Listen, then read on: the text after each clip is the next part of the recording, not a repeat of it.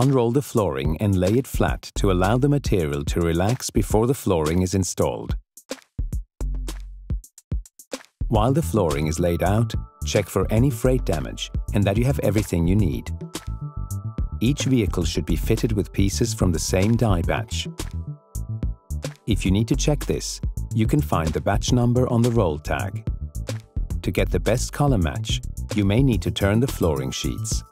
Please don't hesitate to contact us with any queries. Inspect all stair trims and nosings and install them in the correct order. Some stair nosings and trims need to be installed before the flooring is applied. Check your adhesive to ensure that it is in date.